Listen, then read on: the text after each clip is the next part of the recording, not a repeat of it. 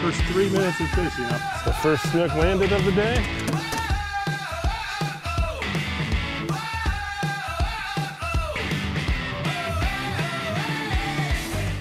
Hey, this is Luke and have a fun report for you today. This is a really good case study on how important knowing real-time feeding zone trends are. You know, knowing the types of spots to look for to find the, the feeding fish, to find the feeding zones. Because once you know that, it basically trumps everything else, to be honest. We've done a lot of lessons and, and, uh, and even webinars on using online maps to find good spots. And, and yes, that is absolutely you know very important to know but if you don't know the, the trends if you don't know what types of spots to look for based on on real time on, on recent knowledge um, you just, you're just not gonna it's gonna be a guessing game right and but once you know the right type of spot most importantly is that you can apply that knowledge to find thousands of good spots with or without maps and so this day in particular, and the reason I'm showing this is this is literally the first the first cast to the first catch. It's coming up pretty soon. So the two rules I gave myself this day was number one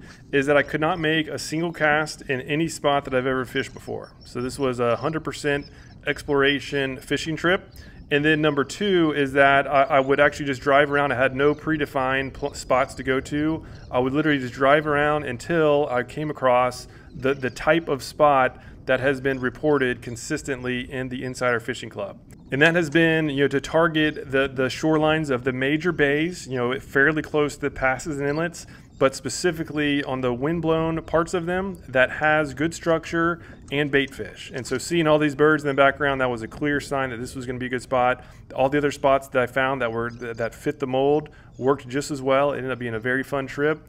And Otis actually had a once in a lifetime chance to catch his first ever fish. So this is a fun video. Here's the first redfish. First three minutes of fishing. I'll see the timer on the GoPro. Pretty cool. Find those birds. Usually find some predators.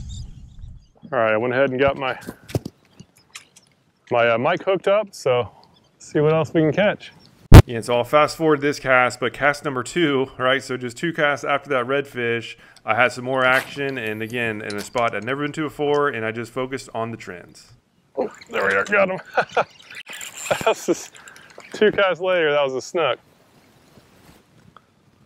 Yeah, find these feeding birds, and you will almost always find feeding predators. I mean, that's probably five casts in, now I caught a redfish and that was that was definitely a snook. Not a huge one, but a solid one. Oh, there. I'm gonna stop right here. Put the uh, power pole down. I just literally just had one when I was sitting. So I fan casted that area for a while, had multiple more strikes, but I think they're just smaller fish. I didn't get a hook in any of them, so I picked up and kept moving down, and then here's what happened. There we are, got him. Nice fish. This is either a big trout or a, I think it's a snook. Yeah, snook. So first snook landed of the day. Not a giant, but fun size. Came up and smacked the, uh, the paddle tail. Let this guy go real quick. All right, there he is.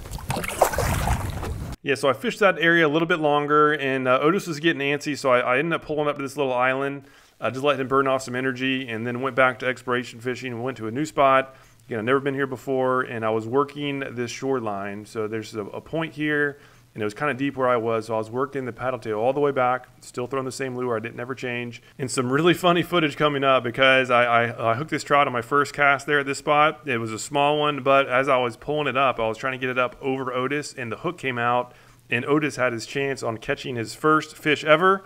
Does he catch it or does he drop it?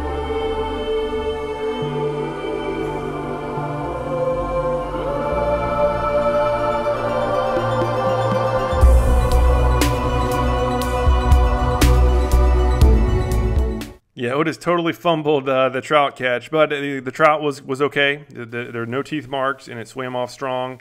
And so what I what I was doing, I just I just really kept fishing down that shoreline again, just exploring some new territory. That's just always fun, and uh, and realized that these fish were holding really close to the trees. So, so I was targeting these little coves uh, where you just saw that arrow. That's a little, it's a minor cove uh, that's next to a minor point. And what I was doing, I was just taking the paddle tail uh, across as many of those points as possible And uh, in this case, I was punching straight into them, and uh, and those those those snook and, and redfish they were they were holding close to trees in most cases. And so here's the next one that I got a hook into. That was a, that was a snook that uh, that got off next to the boat. So here's a cool instance. over to my to my left, as soon as I hook up, there's a big swirl. I don't know what that was, but that was something really big. I'm not sure if it was a turtle or maybe it could have just been a, a grandmama snook, a giant one. But that was a big fish. So anyhow, that was a red. And so the same exact the same exact thing was working for snook and redfish. Uh, here's the the next uh, the next hookup. And again, here's a little bit more of, a, of an aggressive point. And so I cast it over it, worked the paddle tail across, and uh, that's when I got the hookup. Again, another snook. And so I just kept fishing down the shoreline. This was maybe another 50 yards further. And, uh, and again, in most cases, they were hitting really close to the trees, but it's always smart to work your bait all the way back. And uh, because in this case, I caught this was actually the biggest fish of the day that hit close to the boat. I got a hook set in there, and I could I could feel that it was heavier than the others. And so I was trying to get a look at it. It was kind of coming straight to the boat. It turned out to be a solid redfish. And the best news, it was only 11:25 at this point. My first cast was at eight, and so this was just a little bit over three hours of fishing. Had a ton of fun. Again, all of which were, were done. All all these fish were caught in an area that I've never once casted a lure before. And so this is just a, again proof, uh, just a, really an illustration, a case study on how effective just simply knowing the trends can be and, and then applying them and, uh, and, and not doing anything fancy. All I did is I just applied the real time trends that were being discussed in the insider community, and I just used a lure that I trust. I was just using this four inch slam shady paddle tail the entire time, rigged on a 3 16 ounce jig head.